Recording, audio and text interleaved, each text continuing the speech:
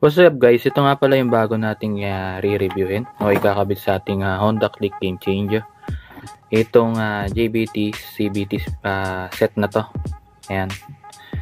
Ito yung pangalan niya. JBT CBT set Titanium Honda. Pwede to sa Click 125 at saka sa 150i. Ayan.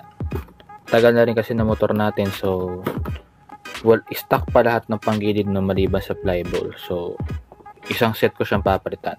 Uh, mabilisan lang. Unboxing lang natin. Pakita ko lang sa inyo yung laman. Ayan. Ayan yung pinakalaman niya. Tapos ito yung spring na ginamit ko is spring na center spring 1200 RPM pang click PCX ADB GY6 yan hindi ko alam kung tama pa yung timpla ko nito para sa akin na rider na laging may angkas pero try natin pakita ko muna sa inyo rin tong drive pace hindi ko alam kung tama tawag dito ah drive pace yan ng JBT may degree daw to eh. Hindi ko sa inyo mapapakita yung ista kasi nakalagay pa. Magaling oh, may para na siyang ano doon. Nakikita nyo. May parang nakaangat na siya rito. Siguro patungan ng belt yan. Pakita ko rin sa inyo itong uh, pulley, slide piece, tsaka itong takip niya. Ewan ko kung anong tawag dyan, nakalimutan ko. Ito pala yung flyball. Flyball muna unahin natin. 14 grams. Yan. Straight yan. 14 grams. Puro 14 yan. 14, 14, 14. Ganda oh. Yung bigat niya sa stock, hindi ko alam kung pantay-pantay. Siguro kung magkaroon ako ng time para timbangin ito, tsaka do sa stock, tingnan natin. Ah, nawala na yung rubber niya dito. Ayan oh, wala na siyang rubber dito. Sa stock kasi meron eh. Quality, not quantity. Ah, JBT. May pa ganun-ganun pa siya. Tapos, ito naman, slide piece niya. Nakala ko nga Dr. Pulley itong slide piece kasi ganito kulay ng Dr. Pulley. Bell. Yung bell na ginamit natin o bell na pinakuha ko dito kay Daily Haslin Motorcycle Parts and Accessories. Doon ko nga pala nabili to ha, kung kailangan nyo ng gantong set. Mura lang to doon. Ayan. Yung bell na kinuha niya, syempre yung latest niya. Ayan, titanium. Meron siyang regroove. No? Yan. Kaya siguro sabi nila pag nag-aftermarket ka na bell, mawawala talaga yung dragging kasi nga nakaganyan ka regroove. Yung bigat niya, hindi ko din sure kung mas mabigat o mas magaang do sa stock. Tapos itong la lining. Itong lining ng JBT. Wow.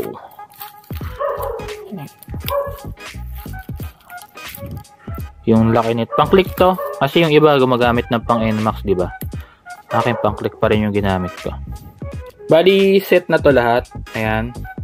Uh, lining, yung set ng pulley set, uh, set ng pulley set, flyball, at saka tumbel, set na yan. Ang bibili nyo na lang, eto, spring. Ayan, napaka, eh, isang bibili nyo, mura na yan. Yung nga pala, may spring din to. Hindi ko lang sure kung 1000 RPM to o 12 RPM din. So, alright. Tara, ikabit na natin. Babaklasin ko muna yung nakakabit sa akin. Papakita ko sa inyo kung ano itsura niya uh, ng gantong takbo. Ayan. Ito na yung motor natin, guys. Ito na yung lalagay natin. Ito na rin yung mga tools ready na. Ayan. Babaklas na tayo. Ang crankcase. Let's go!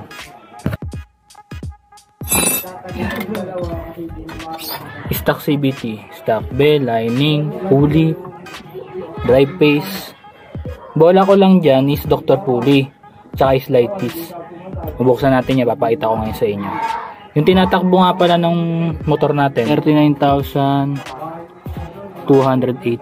Ayan ang tinatakbo ng motorcycle natin, ng Honda Click natin. Papakita ko sa inyo yung itsura niya ng 39,000 o ng 40,000 odo. Baklasin natin. Dito sa bell, gamit tayo ng 19mm.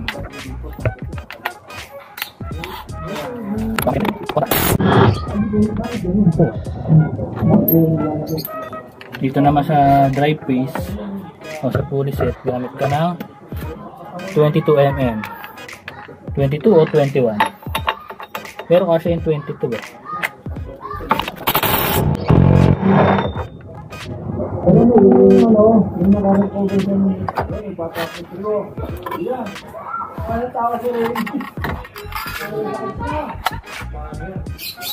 Bell natin oh. 40k odo. Maayos pa naman marami lang. Lining. Inlining ko kaya ako magpapalit. Kasi nararamdaman ko talaga dumudulas na siya. Medyo manipis na rin talaga 'yo. Yeah. Palitin na. Ginawa ko lang. Nagpalit lang talaga ako ng buo. Eto, may tunog na to eh. Yan mo ah. Diba? Slight piece ko nito is Dr. Pudi. Yun. Natanggal agad. Ibig sabihin, malabang na siya.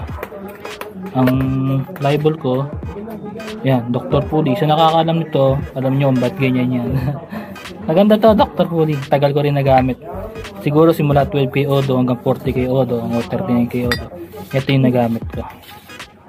Yan. Ito yung dry paste natin. No? Hanggang dito lang talaga ako. Hindi naman ako sumasagad eh. Importante kasi sa akin narangkada.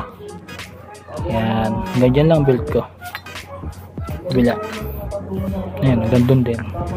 So, kabit na natin tong JBT natin. Alright. Babaklasin pala natin to.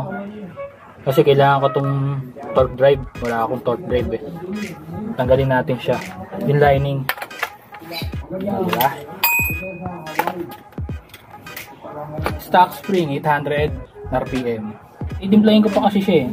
Kung okay itong 800 RPM doon sa JBT or kung okay na yung 1200 doon sa JBT. Kasi ang pliable ko is 14 grams straight.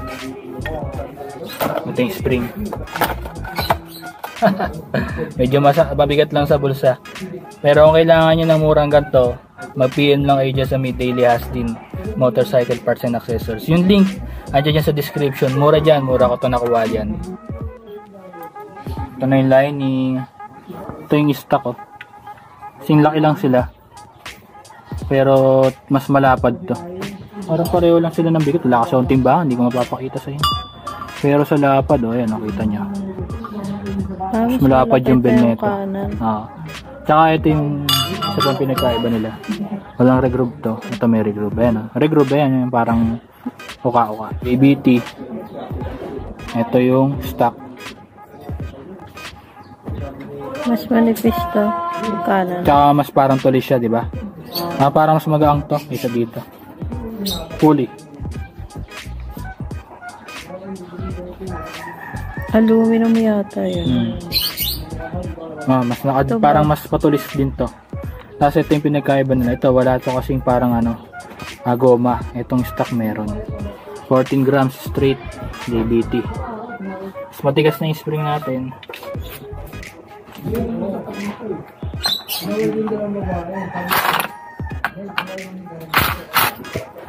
Unang binyag.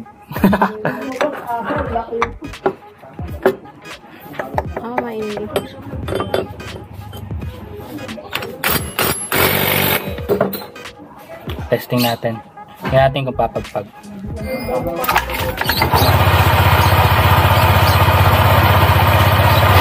Testingin natin.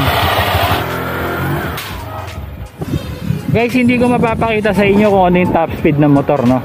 Hindi naman kasi ako si Boy top speed. Ang hinahabol ko dito is arangkada.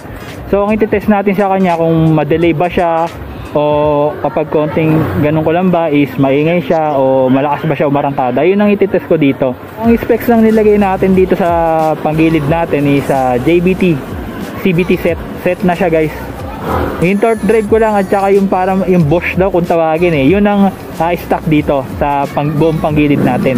Yung spring ko is one center spring ah 1,200 RPM. Yung clutch lining spring ko uh, 1,000 RPM. Bola ko straight na 14 grams. So tingnan titingnan ko kung sakto sa bigat ko ha. kasi itong motor natin is ayan, one click 150i. Yung size ng gulong niya stock uh, 9080 100 by 80 yung likod. Tapos naka-rear disc brake tayo. May flange yan, kaya mabigat na yan. Top box to, aluminum. Kaya medyo mabigat yung timbang natin ngayon. Stock pipe. Walang in-upgrade sa makina natin. So tara. Guys, sinulit ko ha. Hindi ko mapapakita yung top speed dito. Walang straight na lugar dito sa Mandaluyong. Kung meron man traffic, meron. Kaya ang laging habol ko sa motor is arangkada.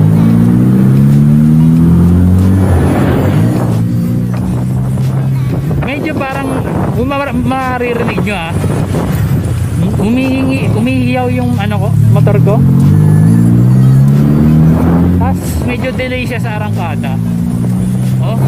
Pero umakajutsi, alam mo yung pagmasdan niya yung kalabit ng throttle ko ah. Hirap mag-testing pag ganito. Kaya sabi ko sa inyo, wala kayong makikitang top speed sa testing ko kundi arangkada. Ito kasi yung nahabol ko eh. Wala siyang dragging. Ayan, pag mga ganyan. Kasi mostly kapag ka 5 hanggang 10, madragging yan, di ba? Pag mga stock. Ito, wala akong naririnig na dragging. O wala akong nararamdaman na dragging. Maganda, maganda yung bell niya, lining niya, maganda. Oh, yun talaga siya eh. Malakas sa umakyat. Mabilis umakyat. Mal malakas umarangkada. Pero parang ano, alam niyo yung bumibelo muna siya. Yung parang marami muna siyang ikot bago siya, ano, magat parang tingin ko hindi tama yung spring na 1,200 RPM hindi tama yung center spring ko. Ito yung tingin ko dito ah.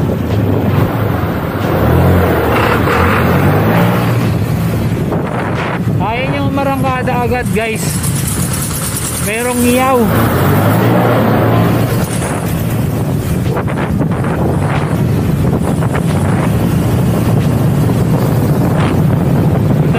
bilis ko mag 60 oh